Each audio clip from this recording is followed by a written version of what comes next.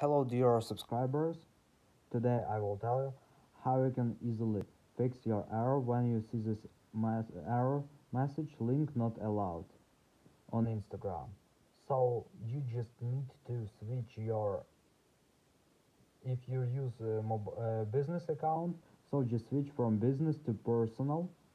And after just uh, connect your facebook page to your uh, instagram page uh, personal and after just change your personal uh, page to business. So this is the way how you can fix this error that link not allowed. So after you won't see this message. So thanks for watching. Have a nice day. Subscribe to my channel. Click like. And goodbye